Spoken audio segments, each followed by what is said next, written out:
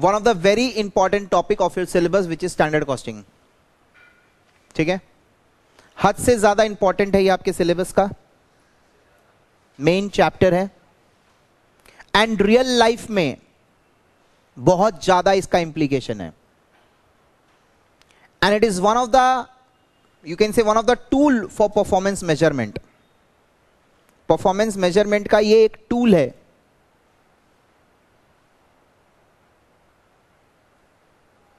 Right you know that in an organization there are ऐसे चला लो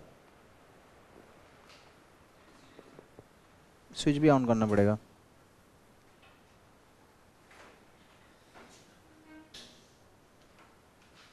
बेटा बेटा switch switch switch switch switch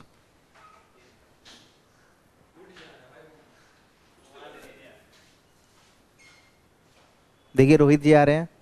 Rohit ji का हाथ है ये। नो फायर द एसी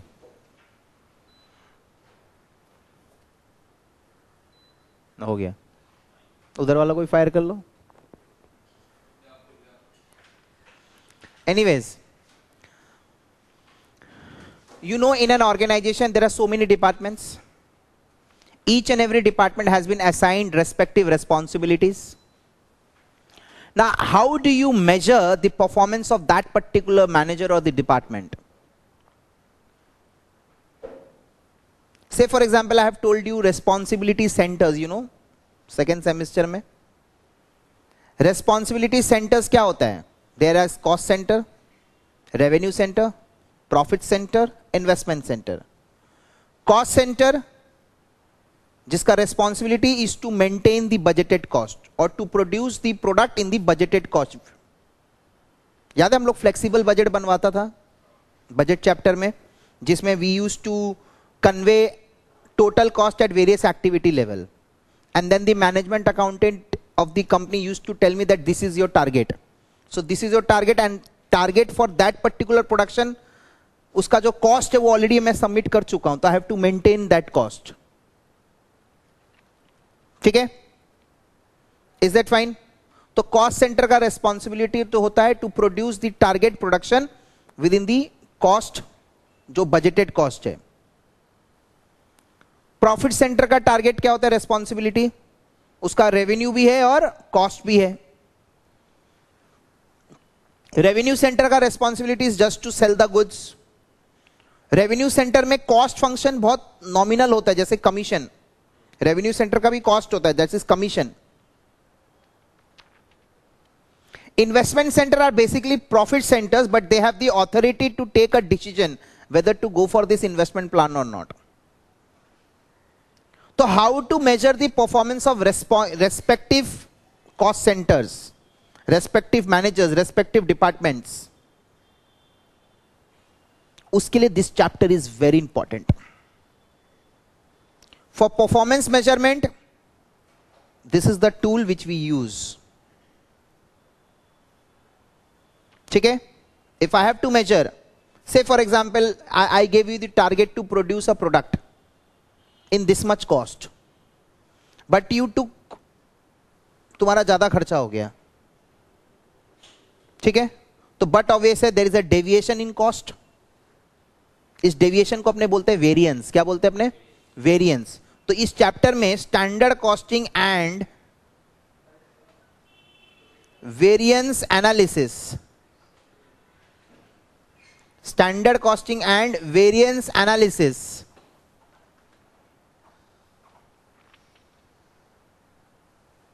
मान लो अगर वो वेरिएंस वो डेविएशन पॉजिटिव है तो इसका मतलब that particular cost centre has maintained the budgeted cost उसका प्रोडक्शन उस बजटेड कॉस्ट में हुआ है तो ही विल बी रिवॉर्डेड अगर उसका कॉस्ट इंक्रीज हो गया तो ही शुड बी पेनलाइज्ड ना उसमें भी कॉस्ट इंक्रीज का दो रीजन होता है right say for example if I talk about material cost और if I talk about labour cost हो सकता है efficiency of the worker might be low हो सकता है wage rate might have increased if I talk about material cost ऐसा हो सकता है कि consumption of material is more ऐसा भी हो सकता है कि price at which material is purchase has increase तो अगर purchase price has increase then purchase manager गाली खाएगा. लेकिन अगर यूसेज ज़्यादा हुआ है तो प्रोडक्शन मैनेजर गाली खाएगा. गाली तो आप सबको नहीं दे सकते ना पूरे डिपार्टमेंट को. यस और नो तो यहाँ पे अपने को इस चैप्टर में कुछ नहीं करना है। बेसिकली अपने बजट को और एक्चुअल को कंपेयर करेंगे। क्या करेंगे? बजट एंड एक्चुअल को कंपेयर करेंगे। We will find out the variances positive और नेगेटिव पॉजिटिव होगा तो उसको अपने फेवरेबल बोलते हैं नेगेटिव होगा तो अपने उसको एडवर्स बोलेंगे। एंड अकॉर्डिंगली उस पर्टिकुलर काम के लिए जो बंदा रेस्पॉन्सिबल था वो गाली खाएगा या he will be rewarded for that तो इस पर्टिकुलर चैप्टर में what we have to do comparing the budget with actual result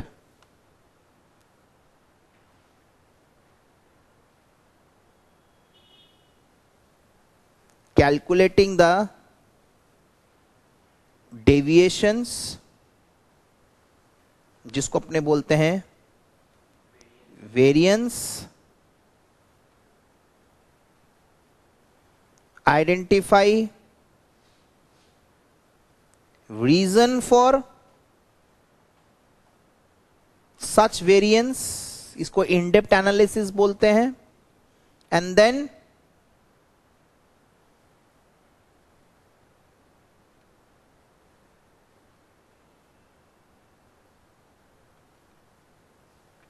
performance measurement and taking corrective action for future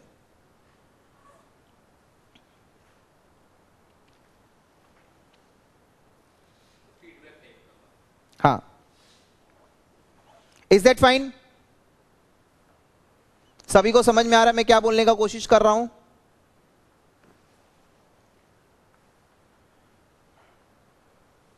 बहुत इंपॉर्टेंट और हाईली इंटरेस्टिंग और मैं आपको जिस तरीके से पढ़ाऊँगा, आपको कोई किताब में नहीं मिलेगा ये चीज़। दावे के साथ बोल सकता हूँ। समझ में आ जाएगा आज। अगर आज आप, आज के पहले अगर आप मेरा इतना कदर करते थे तो आज के बाद आप मेरा इतना कदर करने लगेंगे।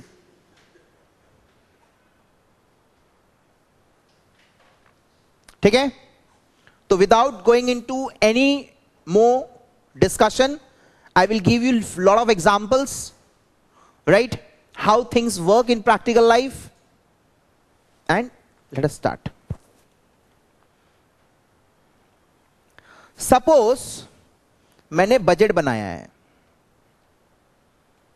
दस हज़ार यूनिट्स का। मैंने बजट बनाया दस हज़ार यूनिट का। इसमें हमारा मटेरियल कॉस्ट है एक लाख। लेबर कॉस्ट है दो लाख।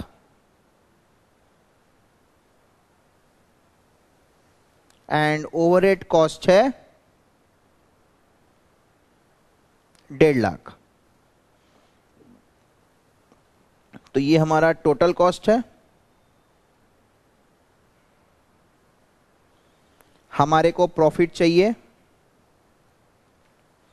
पचास हज़ार का तो हमारा सेल्स आ गया पाँच लाख का।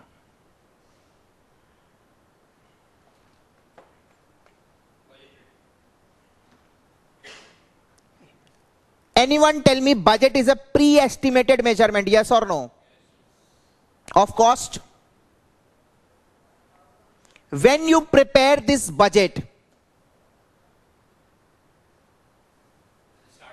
at the beginning of the year, superb. Can I say that on the basis of this budget, you also calculate cost of the product?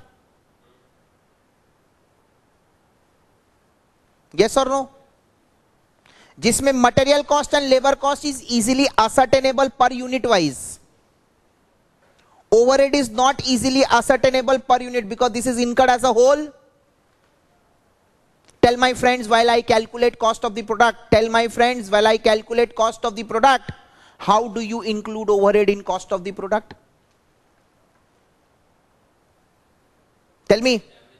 You have studied overhead cost and control on an average basis. Such average can be calculated either on the basis of labor hours machine hour on the basis of output on the basis of direct labor cost, on the basis of direct material cost, on the basis of prime cost. There are so many ways of calculating average overhead. Further, we have studied in our day-to-day -day life activity-based costing also. जहां पे first of all we identify the activities related to overhead. Then we cost pull up. Then we identify the driver of each such activity. Then we calculate cost per driver Yes or no? And then we calculate overhead attributable to each product and then we get overhead cost per unit. There were six steps. Mind blowing steps. हाँ है ना तो ये budget से मेरा दोवल काम हो रहा है ये बजट हम बिगिनिंग ऑफ़ द ईयर में बनाते हैं सबसे पहला काम बजट बना लिया pre estimated measurement of ten thousand units जिसमें ये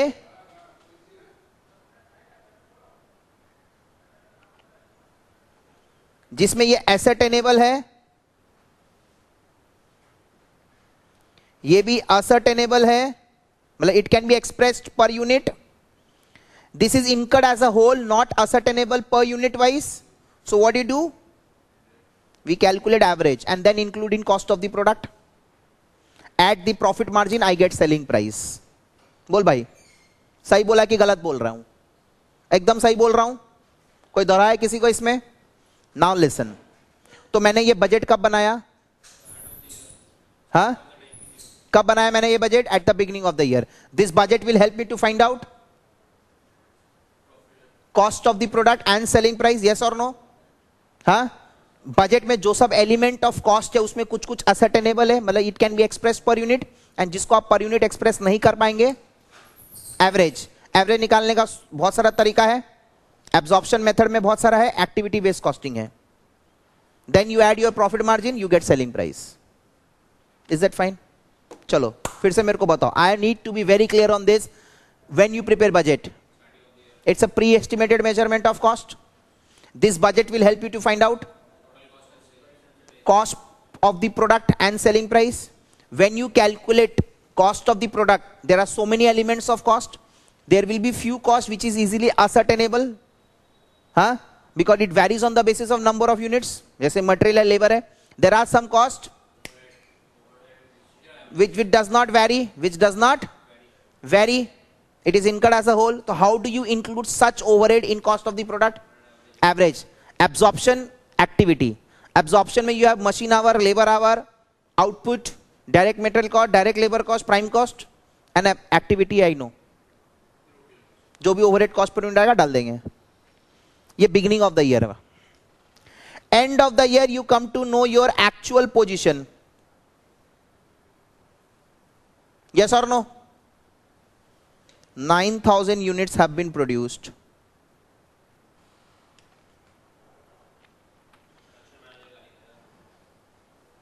नौ हज़ार प्रोडक्शन एंड सेल हुआ है, नौ हज़ार।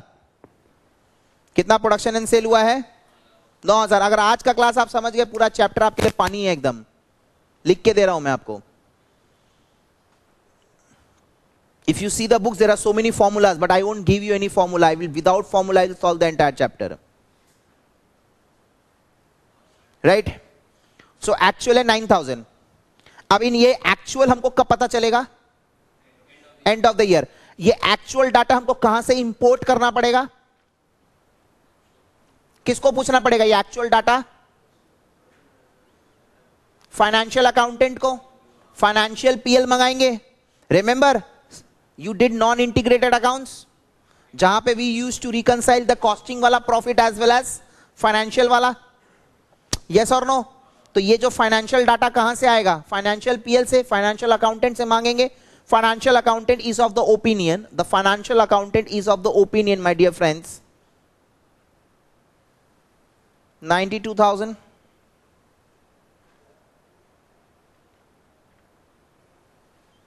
Is that fine? Labor cost. Extend. 185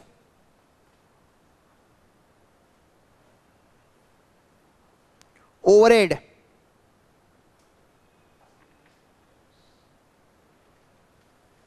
One fifty four.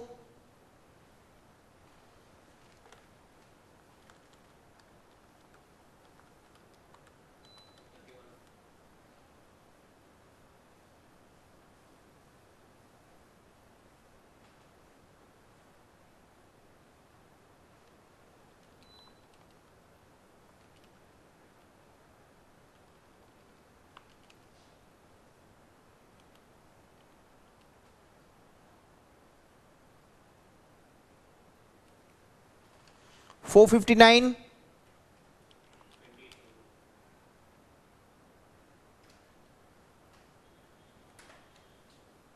calculate variances exam में आपको ये दे देगा। एग्ज़ाम में आपको ये दे देगा बेटा। They will give you this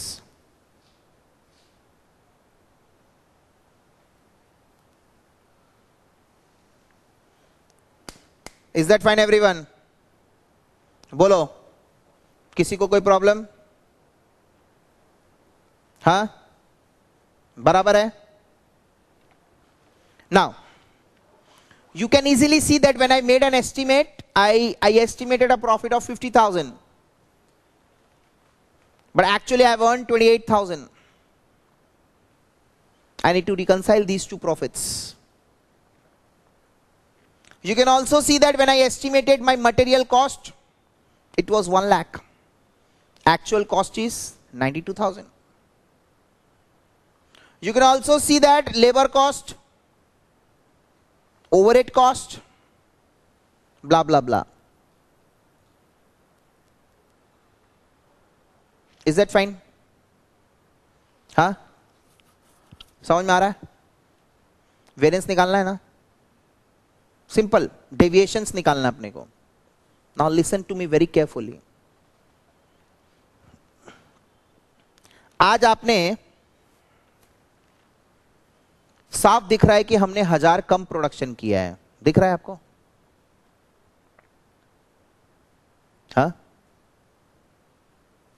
चलो, उसके पहले मैं आपको कॉस्ट ऑफ़ द प्रोडक्ट निकालने दिखा देता हूँ। बजटेड डाटा है हमारे पास। तो उससे I can easily calculate the cost of the product and selling price आइए। Solution.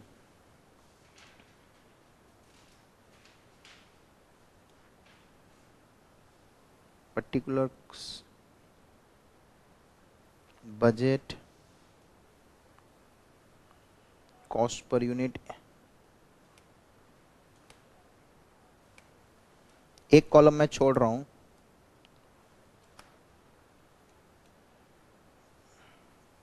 actual variance.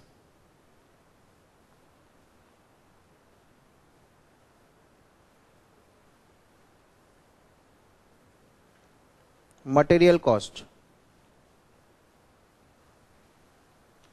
Right?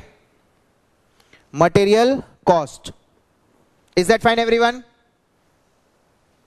हाँ कितना है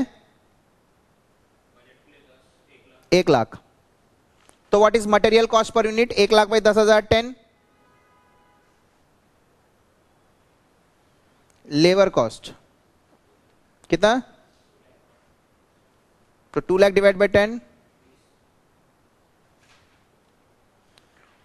overhead cost ascertainable नहीं है बट एवरेज बेसिस पे हम लोग कॉस्ट ऑफ़ द प्रोडक्ट में डालेंगे. तो डेढ़ लाख का ओवरहेड है. कितना का ओवरहेड है?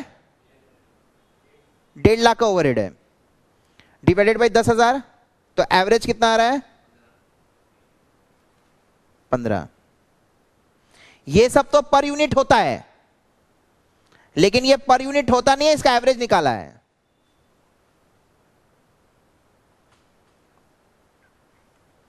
कॉस्ट तो बजटेड कॉस्ट साढ़े चार lakh forty five plus profit 55 sales कितना? पाँच lakh? Selling price fifty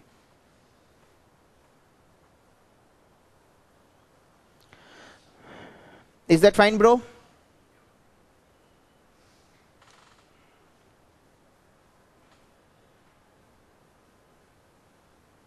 Done? Once you determine the selling price, what you do with this selling price? Where do you throw this selling price? At the customer? To the market? अब customer catch करेगा जिसको 50 में खरीदना वो catch करेगा catch कर लिया catch करके तुमको ऑर्डर देगा एडवांस पेमेंट करेगा तुम माल बनाना चालू कर देगा तो by the end of the year you come to know that 9000 unit का ही एक्चुअल में प्रोडक्शन सेल हुआ है। खर्चा कितना लगा? 92 1 85 1 that comes to 431 459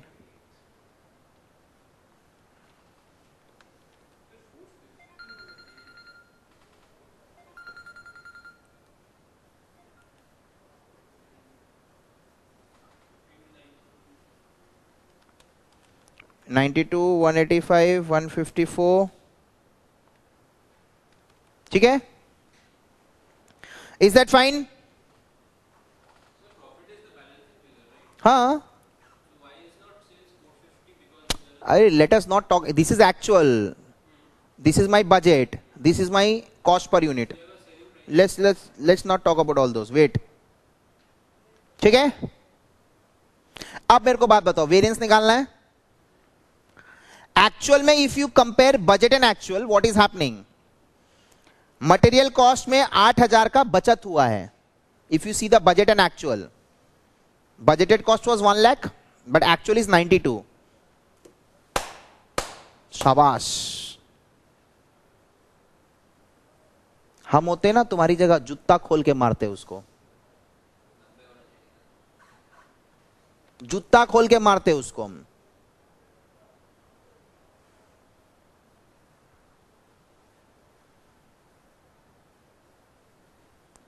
92 लिया है 9000 का प्रोडक्शन में। और ये बजट है 10000 के हिसाब से। तो पहले ये बजट को एज पर एक्चुअल वॉल्यूम लाना पड़ेगा। बजट को मरोड़ना पड़ेगा। Then you can compare not now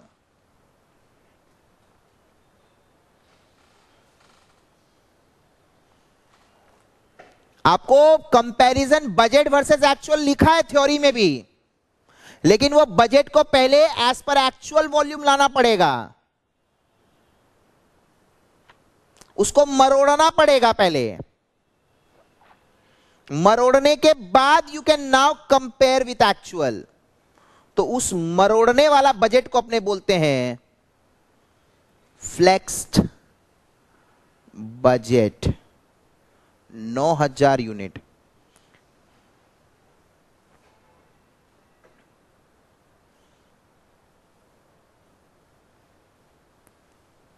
right? तो एक का मटेरियल कॉस्ट दस है। यस और नो अच्छा इस कॉस्ट को हम लोग बोलते हैं स्टैंडर्ड कॉस्ट स्टैंडर्ड का मतलब होता है प्री एस्टिमेटेड मेज़रमेंट क्या बोलेंगे इसको अपने? स्टैंडर्ड कॉस्ट स्टैंडर्ड है ये। अब इस स्टैंडर्ड के बेसिस पे फ्लेक्स होगा बजट आप डायरेक्टली भी बजट को फ्लेक्स कर सकते हैं। एक लाख है, दस हज़ार का तो नौ हज़ार का कितना होगा? और you calculate the standard cost per unit and then you flex it yes और नो कितना आएगा? नब्बे। एक अस्सी।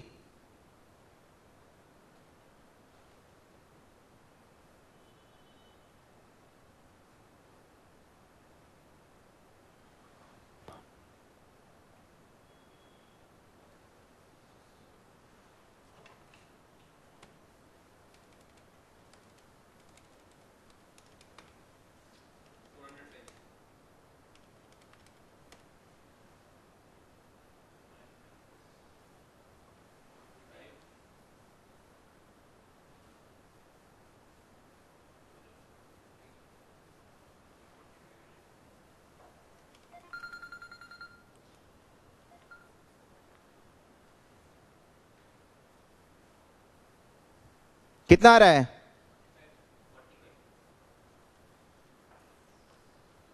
Forty five.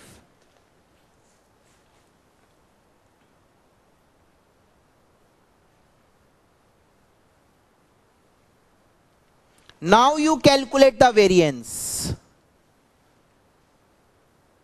2000 negative मतलब एडवर्स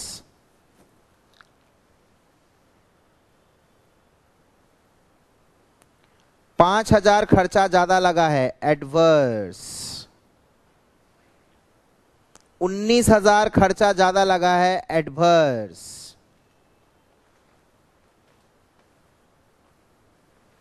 सेल्स अच्छा हुआ है अच्छा मतलब वॉल्यूम वाइज नहीं प्राइस बढ़ा दिए फिर भी कस्टमर खरीद लिया. क्योंकि वॉल्यूम इफ़ेक्ट तो ऑलरेडी आ चुका है यहाँ पे. As per actual volume this should have been my sales और एक्चुअल में सेल्स 459 दिखा रहा है। So it is favourable 9000 favourable F so total cost variance is how much twenty six thousand adverse ये है 9000 फेवरेबल तो net variance is how much 17,000 yes और no 26 minus and 9,000 positive कितना? Seventeen thousand? What is the gap between these two net variance variance thousand adverse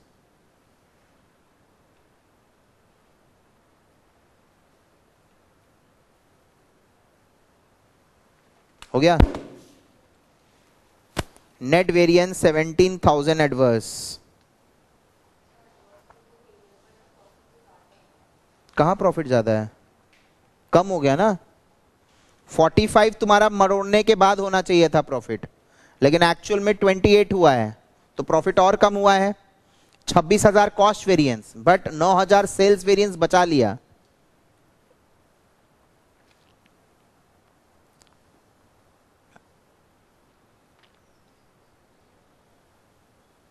is that fine बोलो, किसी को कोई problem variance कैसे आता है? हाँ? तो हमको बताओ, हमको एग्ज़ाम में क्या देगा? बजट ठीक है? बजट हम बनाते कब है? At the beginning of the year is that fine every budget हम कब बनाएँगे? At the beginning of the year अच्छा. कॉस्ट एसेटेनमेंट कब करेंगे? Beginning of the year selling price भी उस, उस बजट बजटेड डाटा के बेसिस पे कॉस्ट और सेलिंग प्राइस का calculation beginning of the year में हो जाएगा। उस कॉस्ट को अपने बोलते हैं स्टैंडर्ड कॉस्ट पर यूनिट ठीक है? हा? एक्चुअल अपने को कब पता चलेगा? एंड ऑफ़ द ईयर और एक्चुअल डाटा कहाँ से लेना पड़ेगा? फाइनेंशियल अकाउंटेंट से मांगना पड़ेगा या फाइनेंशियल पीएल मंगवाना पड़ेगा? ठीक है? अब ये वेरिएंस एनालिसिस कब होगा? बिगिनिंग में कि एंड में? एंड में?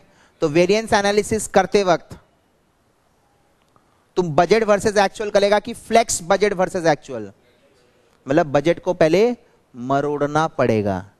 Adjust budget as per actual volume then compare actual cost then you get the true variance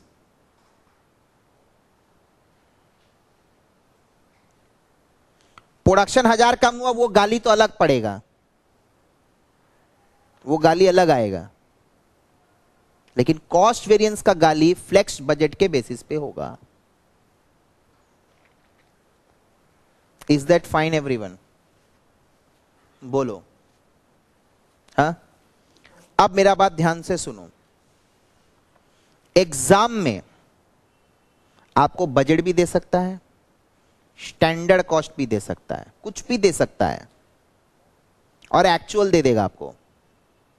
You have to calculate the variance budget देगा तो पहले स्टैंडर्ड कॉस्ट पर यूनिट निकालेंगे, उसको फिर एक्चुअल वॉल्यूम के हिसाब से फ्लेक्स करेंगे। And then we will compare with actual और अगर directly standard cost per unit दे दिया है, कुछ नहीं करना है, सीधा फ्लेक्स करना है। तब ये बजट वाला कॉलम नहीं चाहिए अपने को। You don't require this budget वाला column directly you can do the flexing variance analysis statement now listen to me very carefully listen अगर मान लो अपने को स्टैंडर्ड कॉस्ट पर यूनिट दिया है, इसको अपने मल्टीप्लाई कर देते हैं बजटेड आउटपुट से। इसका दो यूज़ है। अगर हम इसको मल्टीप्लाई कर दिया बजटेड आउटपुट से तो हमको क्या मिल जाएगा? बजट मिल जाएगा। और अगर हम इसको मल्टीप्लाई कर दिया एक्चुअल आउटपुट से तो हमको क्या मिलेगा? फ्लेक्स्ड मिल जाएगा। और फिर हम उसको एक्चुअल के साथ कंपेयर करेंगे। यस और no now I will give you few terms you just tell me the meaning of it picture clear है ना? बजट वर्सेस एक्चुअल थ्योरी में भी बजट वर्सेस एक्चुअली लिखा हुआ है बुक्स में। बट वो बजट नहीं है, वो फ्लेक्स्ड बजट है. You have to bring the pre estimated measurement as per actual volume and then compare the actual cost for actual volume is it fine now tell me if I talk about budget budget मतलब budgeted cost for बोलो for what output budgeted output yes और no और we can say would be cost for budgeted output anything I can say both are same thing if I say flex budget what does it mean budgeted cost for budgeted cost for actual output और I can say would be cost for actual output और I can say standard cost for actual output yes और no budget से अपने standard cost per unit निकाल लिया। Cost per unit उसी को standard cost बोलते हैं। and then I multiplied with the actual output, I got standard cost for actual output. If I talk about actual, this is actual cost for actual output. So tell me if this is 1, this is 2 and this is 3. Number 4 is variance is equals to बोलो। बोलो बोलो बोलो बोलो। Two minus three it is not one minus three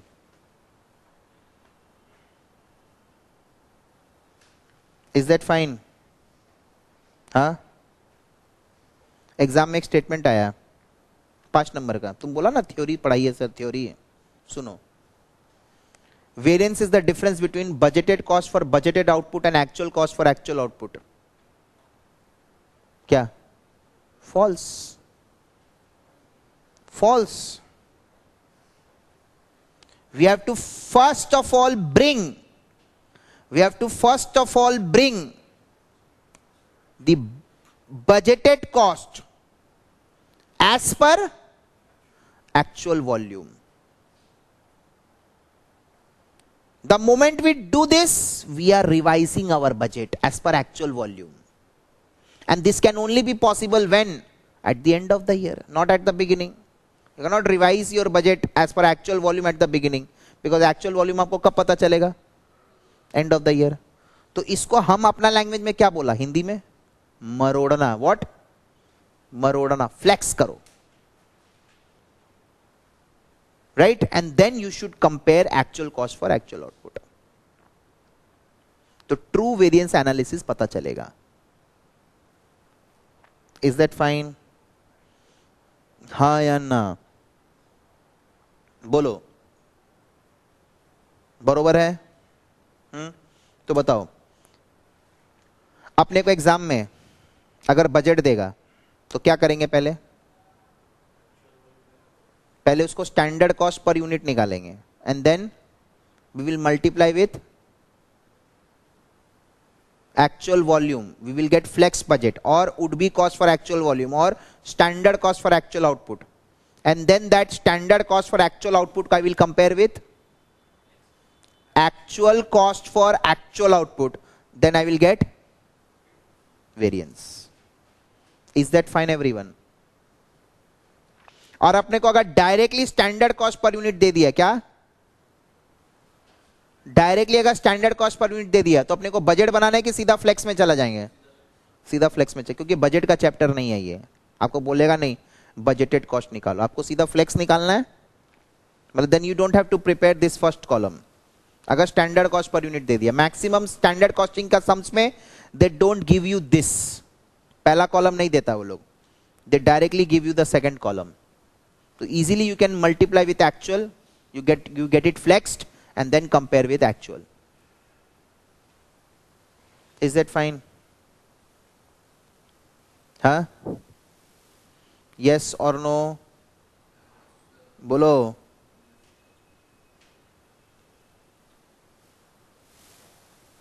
Is that fine? After doing the variance analysis, the next step would be to prepare profit reconciliation statement. What? Profit reconciliation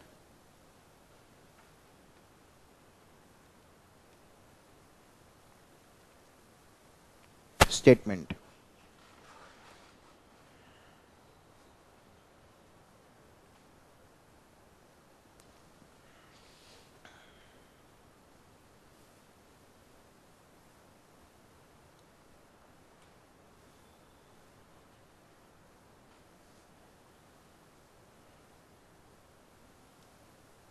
what was my budgeted profit?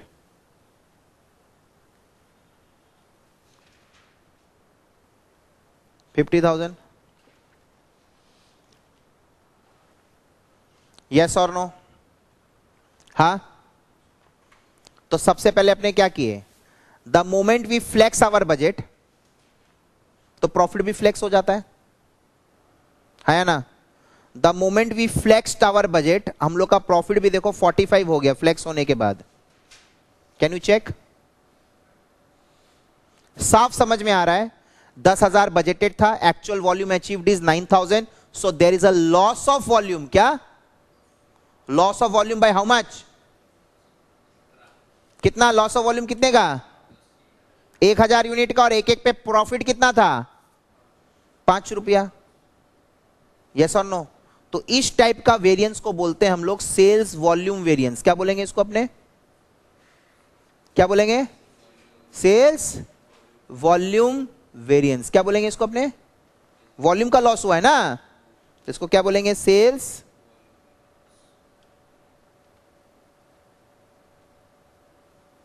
volume variance that is loss of volume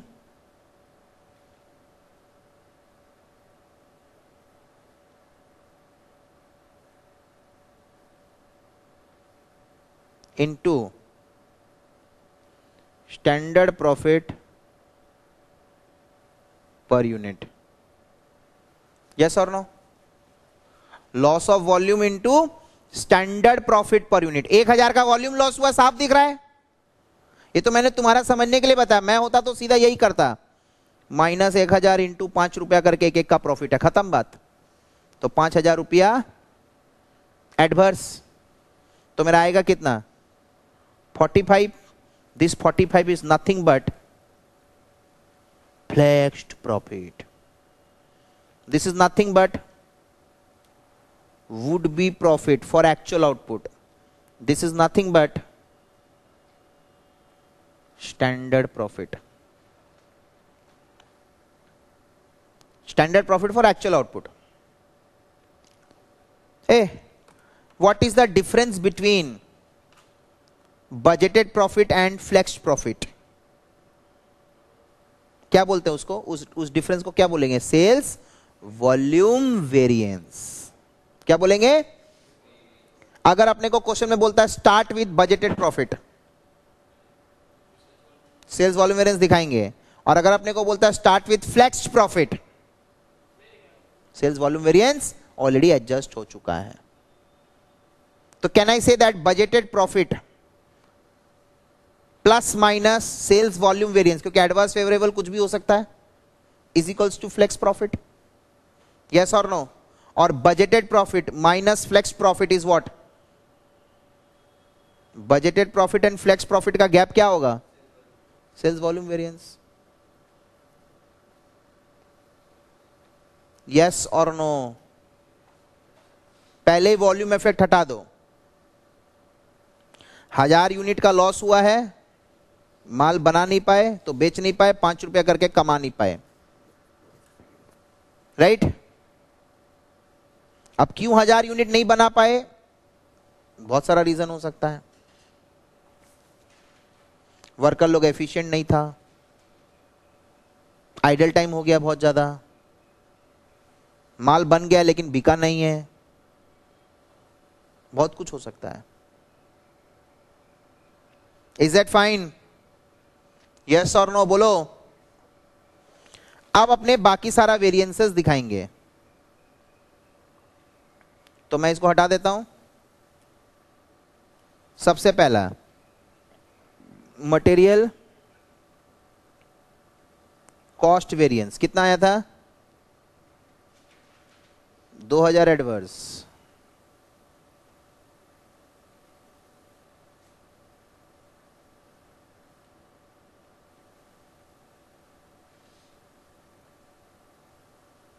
labour cost variance, कितना आया था? पाँच हज़ार adverse.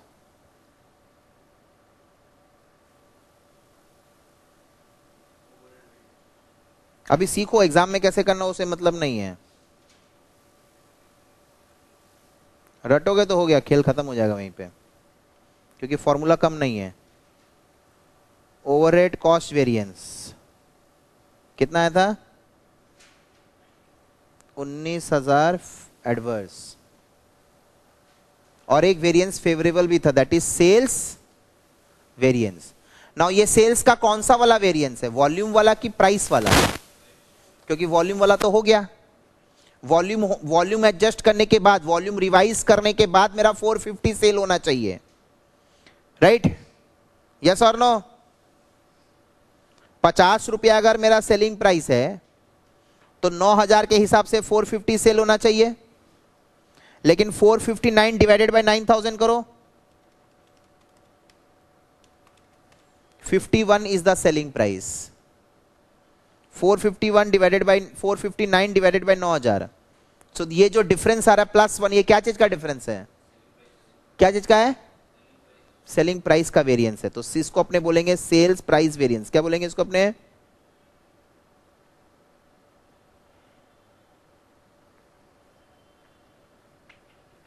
That is 9000 favourable तो ऐसा करने से मेरा एक्चुअल प्रॉफिट आ जा रहा है सत्रह हज़ार एडवर्स सॉरी सत्रह हज़ार एडवर्स बोल रहे हैं। कितना? प्लस माइनस करके देखो कितना आ रहा है। फोर्टी फाइव में से छब्बीस गैस नौ ऐड कर दो। अट्ठाईस हज़ार आ जाएगा। तो ये था ये था और ये था। तीन लेवल में रिकंसिलिएशन दिखाना है। तो बजटेड से फ्लेक्स में आना है। बजटेड प्रॉफिट से प्रॉफिट रिकंसिलिएशन बना रहे हैं। तो बजटेड प्रॉफिट से अपने को फ्लेक्स प्रॉफिट में आना है। कौन सा वेरिएंस दिखाएँगे? Sales volume variance that is loss of volume into profit per unit अब फ्लेक्स प्रॉफिट और एक्चुअल प्रॉफिट में जो गैप है it is due to cost variance and sales price variance cost variance सारा दिखा दिया and sales price variance is that fine any problem any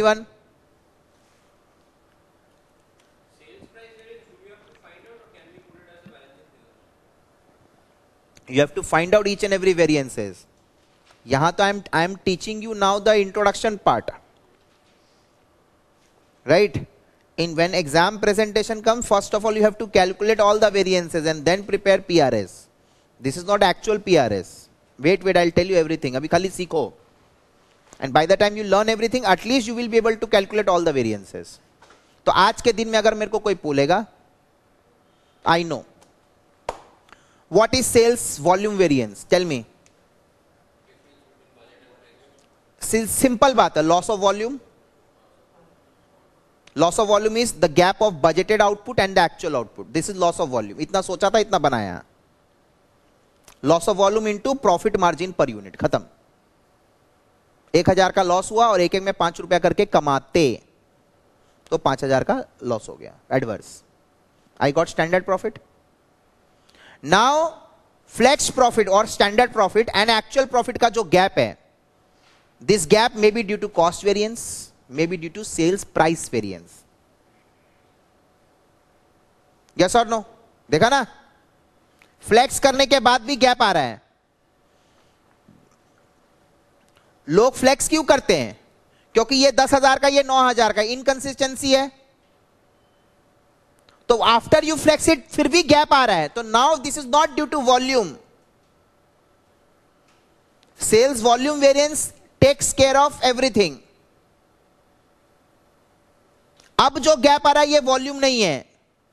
It means either the price of material has increase और you have over consumed raw material it means worker are not working efficiently or the rate of workers has increased. So, now i will do further analysis.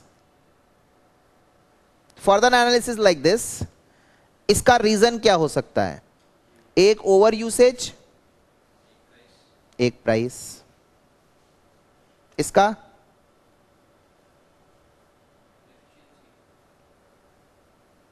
एक efficiency और एक price मतलब rate material में we use the word price and labour में we use the word rate overhead इसमें तो कुछ खरीदने का है नहीं एलोकेशन प्रोसेस है ये। क्या है? एलोकेशन ना how you calculate average overhead tell me total budgeted overhead by total budgeted output? How you calculated average overhead in this case? 1 lakh 50 divided by 10,000. Yes or no? So can I say that average overhead per unit? You can also call it standard cost of overhead per unit. Yes or no? हाँ कैसे आता है budgeted overhead cost by budgeted output. So that has to be डेढ़ lakh by दस हज़ार.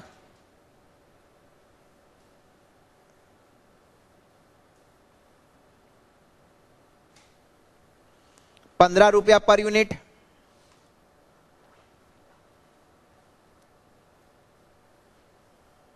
बरोबर है? तो ओवरहेड में वेरिएंस आ रहा है। ओवरहेड में वेरिएंस आ रहा है मतलब एलोकेशन में प्रॉब्लम है। आज तुम ओवरहेड जितना डालोगे कॉस्ट ऑफ़ द प्रोडक्ट में, उसी हिसाब से सेलिंग प्राइस आएगा। यस और नो आज मान लो अगर हम ये पाँच के जगह,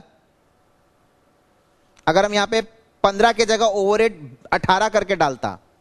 से फॉर एग्ज़ाम्पल 15 के जगह अगर हम 18 कर देता तो cost would have been 48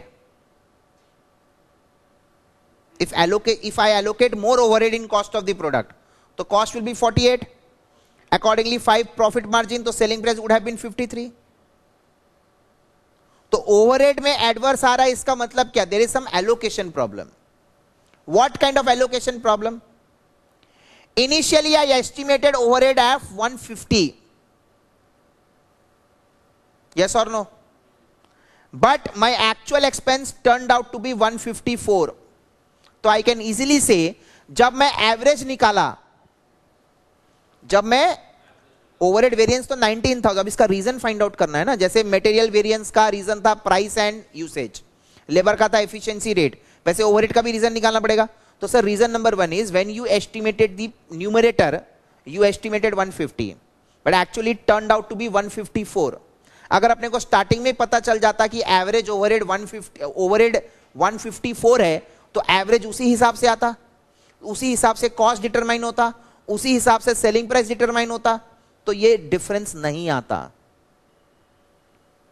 but क्योंकि हमने एवरेज 150 पे निकाला कॉस्ट उस हिसाब से डिटरमाइन किया, बाद में जाके पता चला खर्चा बढ़ गया तो this part of the expense left unrecovered इसको क्या बोलते हैं?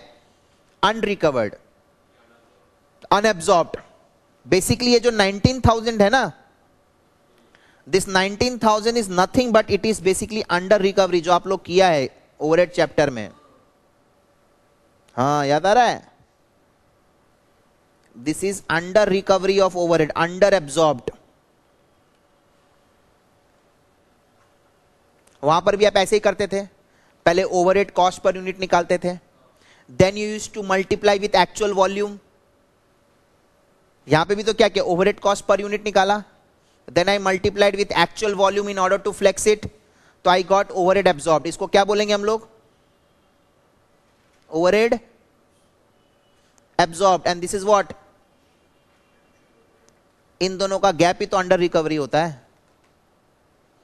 तो ये अंडर रिकवरी क्यों हुआ? Because I made a wrong estimation of expense right तो एक होता है इसका एक्सपेंडिचर वेरिएंस एक्सपेंडिचर वेरिएंस के कारण 4000 का लॉस है। कितने का लॉस है? 150 I estimated but actually turn out to be actually turn out to be 154 तो 4000 हमने पकड़ा नहीं तो वो पार्ट 4000 अनरिकवर्ड रह गया। That part is unrecovered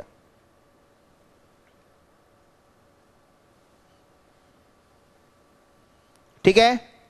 yes और no next part is volume क्योंकि वॉल्यूम के कारण भी रिकवरी कम हुआ है। आज मटेरियल और लेबर तो लगा नहीं। मटेरियल और लेबर तो लगा ही नहीं। तो प्रॉब्लम भी नहीं है। लेकिन ओवरहेड तो ऐसा होल होता है। आज मटेरियल लेबर को फ़र्क नहीं पड़ा, बोलो तो क्यों? इसलिए हम लोग पहले ही दिखा दिया वॉल्यूम। मटेरियल लेबर में वॉल्यूम क्यों नहीं आया?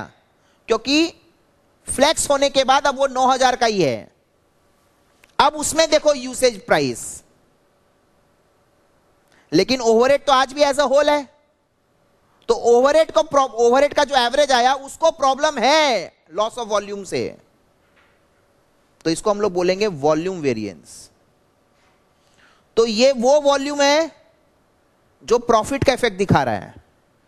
ये वो वॉल्यूम वेरिएंस है जो ओवरहेड कम रिकवर हुआ, उसका इफ़ेक्ट दिखा रहा है। आज हज़ार यूनिट कम प्रोडक्शन हुआ। आज अगर तुमको स्टार्टिंग में पता होता कि आउटपुट नौ हज़ार होगा तो तुम क्या करता? यहाँ पे डिवाइड बाय नाइन थाउज़ेंड करता। तो एवरेज उसी हिसाब से आता। तो तुम रिकवरी भी उसी हिसाब से करता। बट क्योंकि हज़ार वॉल्यूम कम हुआ है तो हज़ार इंटू पंद्रह के हिसाब से पंद्रह हज़ार का under recovery that is volume variance तो पंद्रह हज़ार का अंडर रिकवरी वॉल्यूम के कारण और चार हज़ार का अंडर रिकवरी एक्सपेंडिचर के कारण हो गया उन्नीस हज़ार।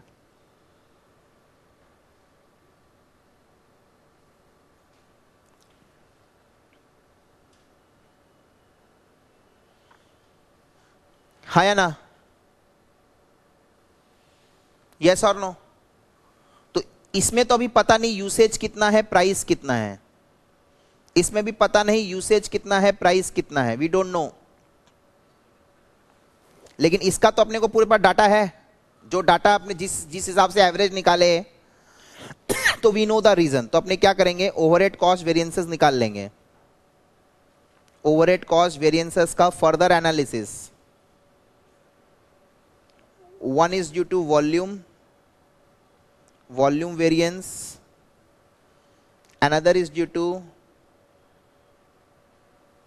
expenditure variance साफ़ दिख रहा है, हज़ार वॉल्यूम कम बेचा तो कम रिकवरी हुआ, और एक एक का एवरेज था ओवरहेड का पंद्रह, जैसे प्रॉफिट का था पाँच ओवरहेड का था पंद्रह।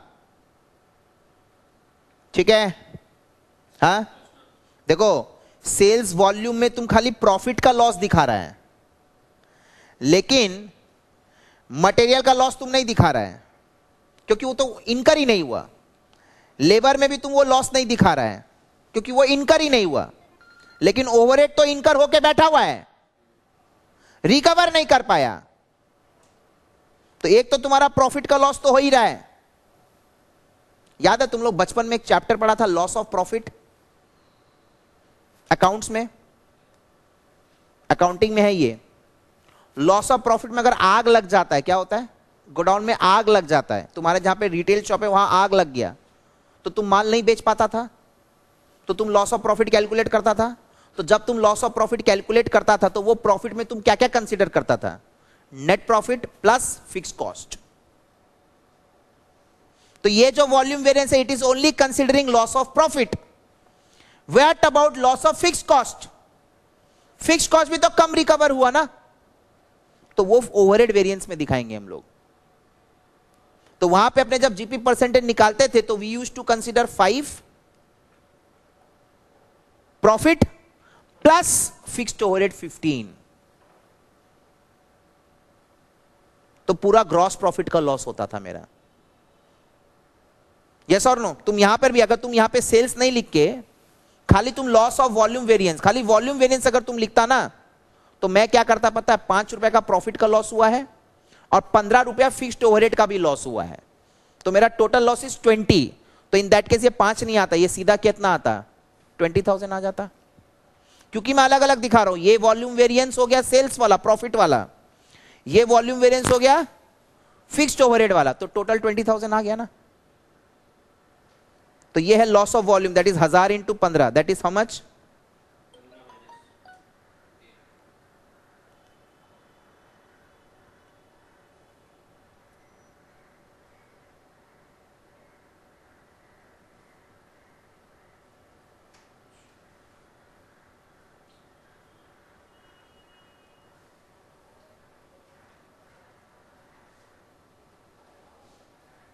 is that fine हा और यहाँ पे सीधा चार हज़ार का लॉस आ रहा है। एस्टिमेशन ऑफ़ एक्सपेंस में।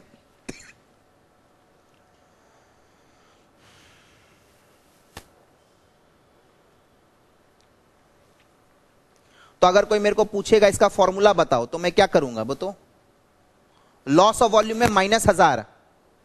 तो लॉस ऑफ़ वॉल्यूम में माइनस हज़ार कैसे आएगा? Nine thousand minus ten thousand so this is actual output minus budgeted output into standard cost per unit है ना? तभी ना माइनस हज़ार आएगा। नौ हज़ार माइनस दस हज़ार माइनस हज़ार इंटू पंद्रह रुपया का average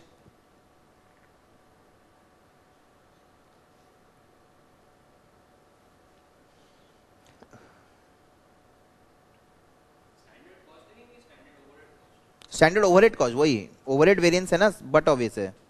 standard cost of overhead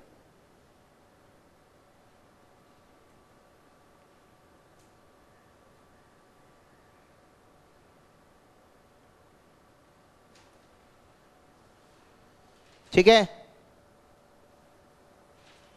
यहाँ पे बताओ तो। डेढ़ lakh minus one fifty four. तो डेढ़ लाख क्या है? Budgeted overhead cost minus actual overhead cost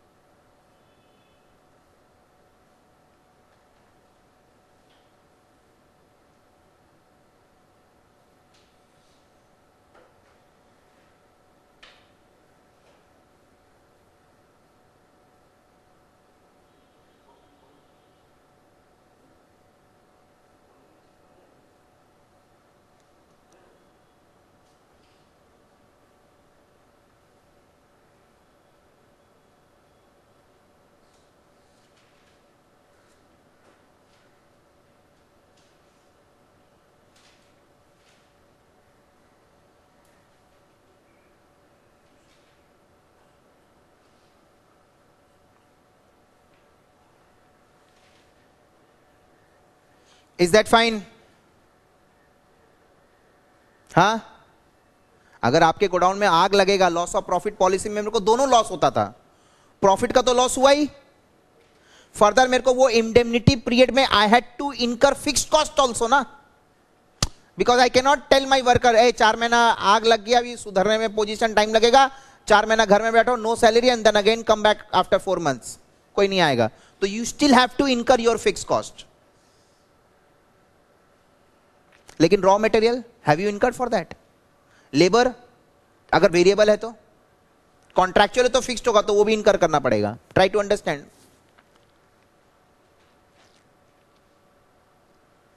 तो मेरे को दोनों वॉल्यूम का लॉस दिखाना पड़ेगा, एक प्रॉफिट वॉल्यूम लॉस और एक फिक्स्ड ओवरहेड में भी वॉल्यूम लॉस का इफ़ेक्ट इज़ दैट फाइन समझ में आ रहा मेरा बात?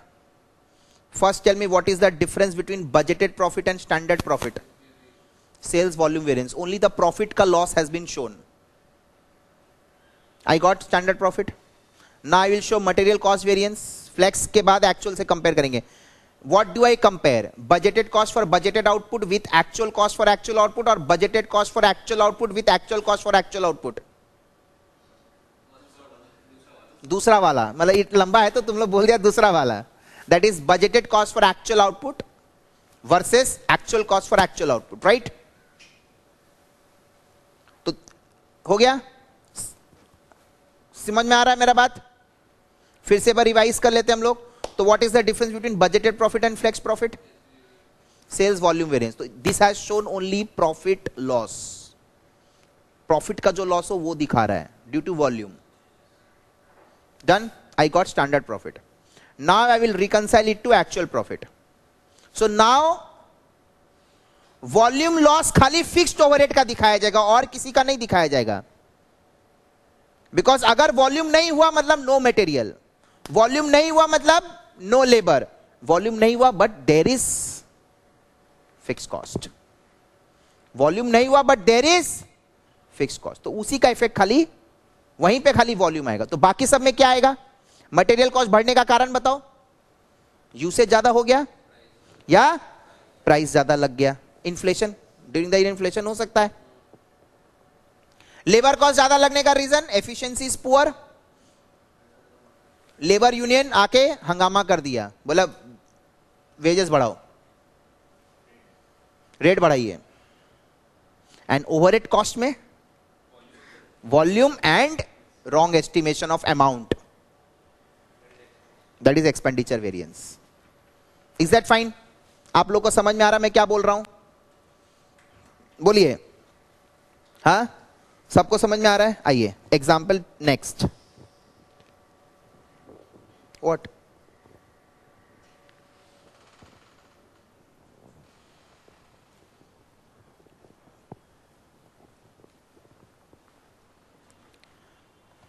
अच्छा। और ओवरहेड वेरिएंस का? बेसिकली इसका मतलब होता है अंडर रिकवरी इसको क्या बोलते हैं हम लोग? ओवरहेड वेरिएंसेस मतलब under recovery and it this under recovery of overhead is due to volume and.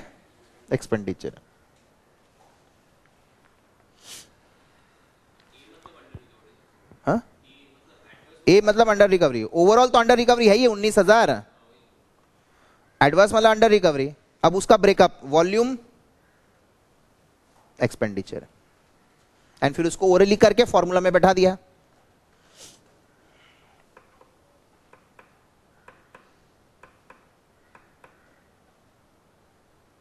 Is that fine, everyone? Any problem, any doubts, you can ask me now. That's cool. Next. I'll give you example.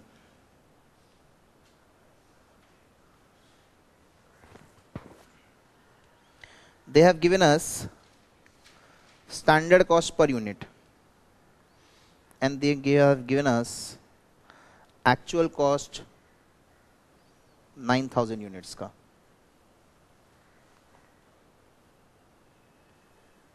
Material cost ten कैसे आया पता है due no two के जी into five rupees करके मतलब एक product बनाने में राइट ये फिनिश गुड्स का डिटेल है। एंड दिस इज़ इनपुट एक प्रोडक्ट बनाने में दो केजी चाहिए, पाँच रुपया is the price per per KG input का कॉस्ट इनपुट का rate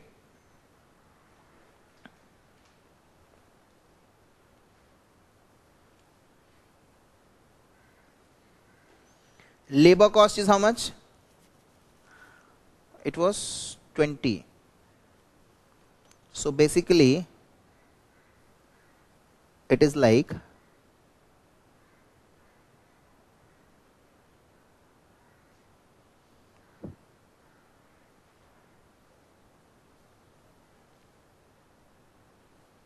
five hours four करके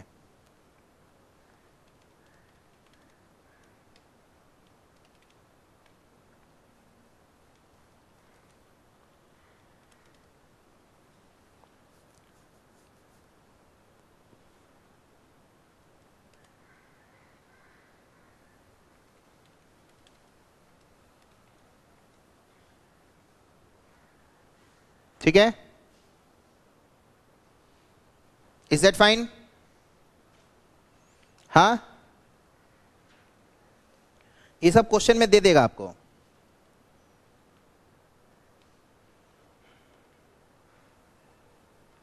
डेढ़ लाख ओवरहेड है। दस हज़ार unit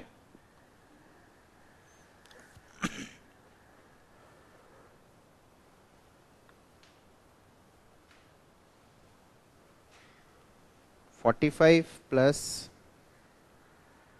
profit is 5 this is selling price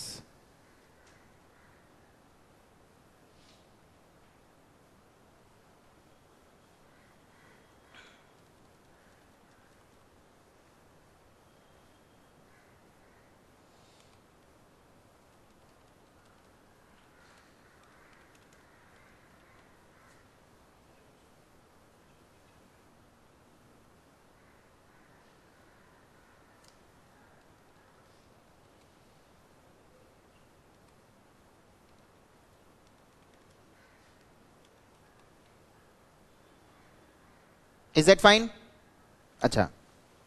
इसका खर्चा कितना लगा था? एक्चुअल क्या क्या था? पिछला क्वेश्चन से बताओ तो देख के थोड़ा।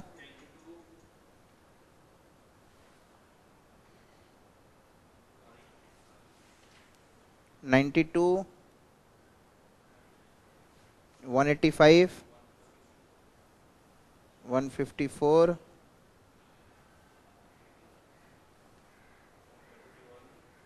at the rate fifty one करके 459 28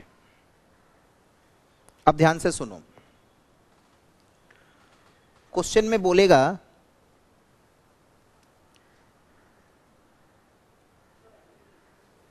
हाँ? क्वेश्चन में बोल दिया एक्चुअल सेलिंग प्राइस 51 है। दे रहा हूँ ना क्वेश्चन ही तो बना रहा हूँ मैं, अभी क्वेश्चन बना रहा हूँ, मैं आपके सामने लाइव बना रहा हूँ। उससे पिछला एग्ज़ाम्पल से मिलता जुलता। पिछला एग्ज़ाम्पल में अपने वो यूसेज प्राइस वो सब नहीं निकाल पाए थे ना तो अब इस सब में निकाल पाएँगे। Right twenty thousand K G into four point six करके।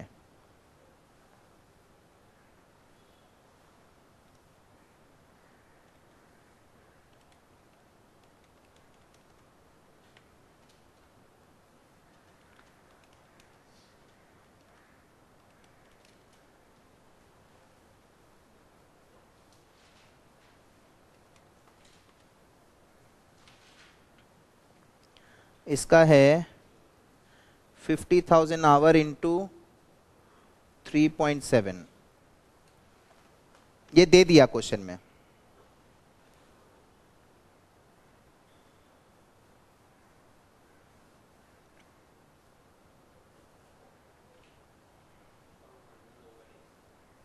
सिंपल एकदम। डन हाँ? तो ओवरहेड का हम लोग नहीं करेंगे बिकॉज़ आई नो ऑलरेडी हो गया है। खाली मैं आपको मटेरियल लेबर राइट अच्छा can you tell me what is budgeted profit in this case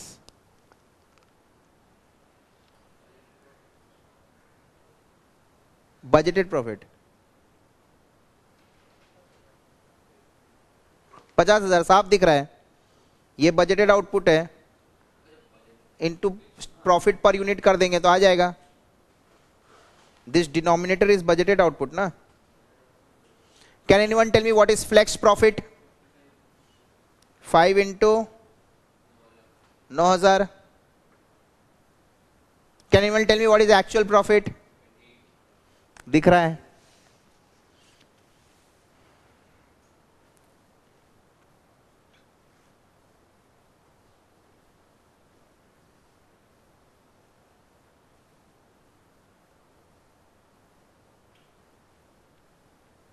है ना? आइए। तो सबसे पहला हम लोग करेंगे।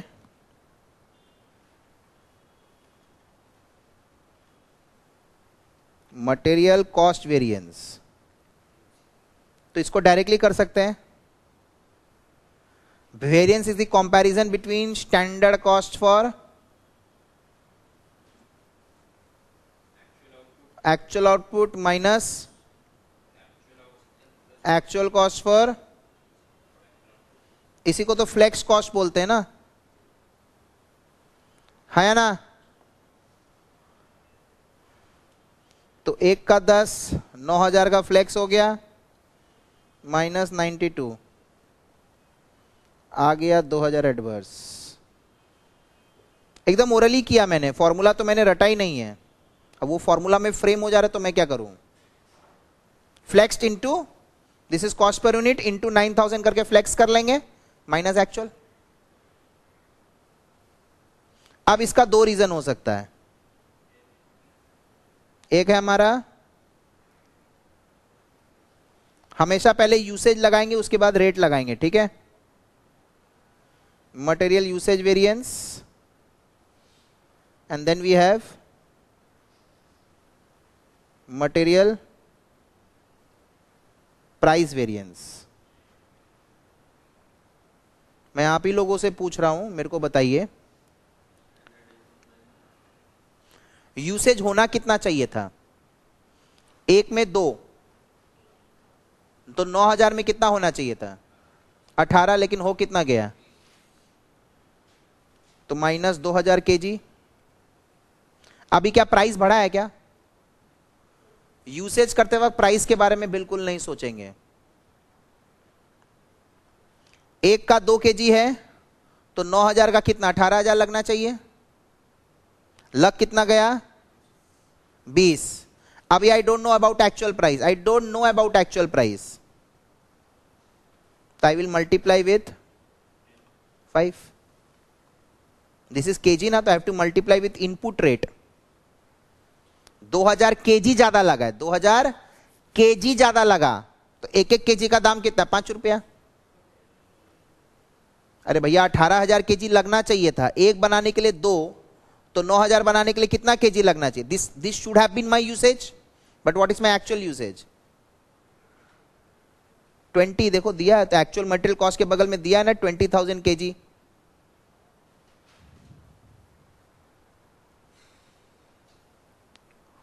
के जी इंटू नाइन थाउज़ेंड ये लगना चाहिए था।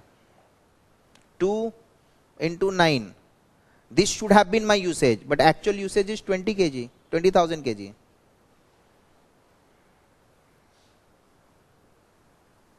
इज़ दैट फाइन तो 2000 के जी ज़्यादा लगा है, और व्हाट इज़ द एक के जी का दाम? पाँच रुपया। That comes to ten thousand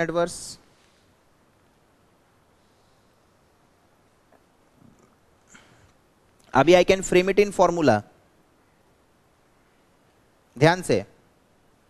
18 minus बीस किया कि 20 माइनस अठारह? तभी ना 2000 ज़्यादा यूसेज आया. What is that 18 that that should have been the usage तो उसी को अपने क्या बोलते हैं? Standard usage what is that 20 actual usage, whole into what was the rate? 5 and that rate is standard rate, not cost, rate, input का rate. आ गया फॉर्मूला में। रटने का दरकार ही नहीं है। हम तो ओरली कर लिया। एक बनाने में दो अठारह, नौ बनाने में अठारह, लगा बीस। दो हज़ार के का नुकसान हुआ है। और एक एक के का दाम पाँच रुपया बिकॉज़ अभी हमको एक्चुअल पता ही नहीं है। यूसेज करते वक्त प्राइस एकदम ध्यान नहीं देंगे। अब प्राइस एक के का दाम क्या अनुमान किया था? पाँच। लेकिन लगा कितना? सेव हुआ है ना पैसा? कितना पैसा? Plus point four zero and in total how many we have purchased बीस हज़ार के जी तो उस हिसाब से मेरा आठ हज़ार फेवरेबल आ रहा है। तो दस हज़ार एडवर्स आठ हज़ार फेवरेबल तो नेट में दो हज़ार एडवर्स आ गया ना ऊपर वाला। चेक करो।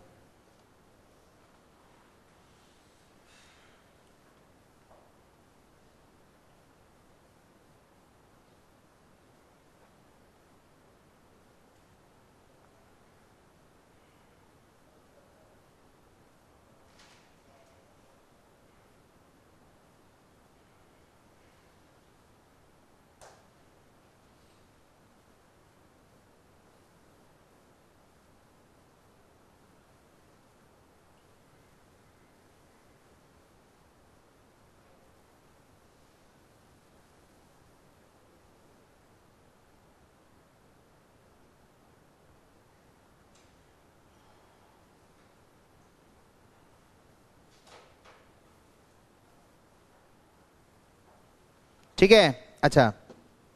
चालीस पैसा बच रहा है। तो चालीस पैसा कैसे आया? Five minus four four point six. तो five was standard rate. This was actual rate. And what is this? Twenty thousand. Actual usage.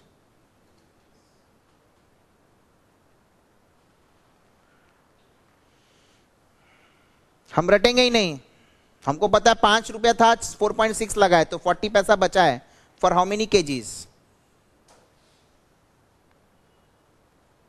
done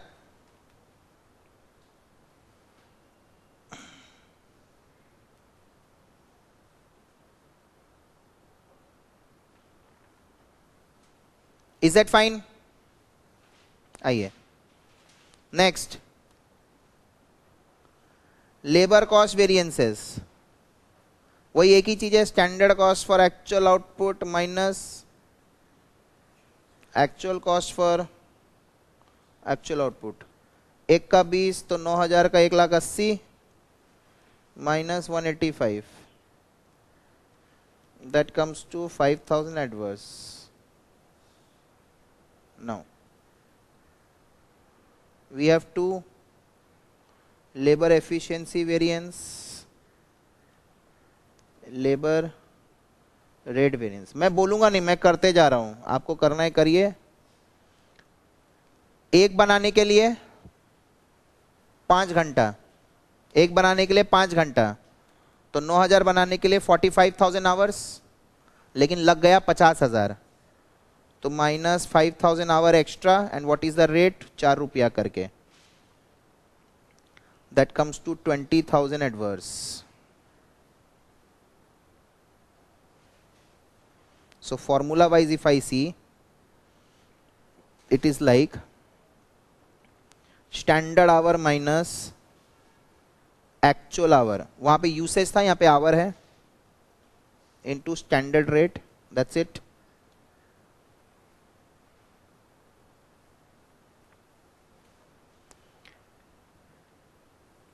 plus thirty पैसा करके सेविंग हुआ है for fifty thousand hours that comes to 15000 favorable. So again it is like standard rate minus actual rate into actual hours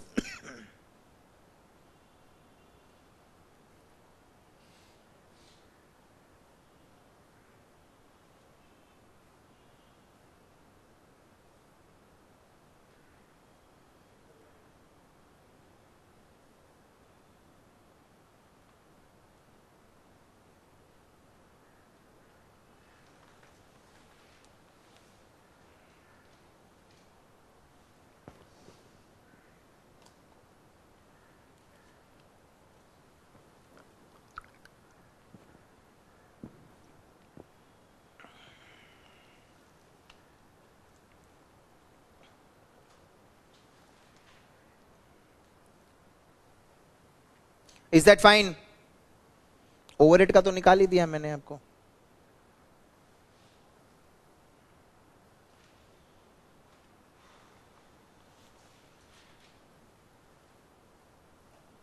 ठीक है?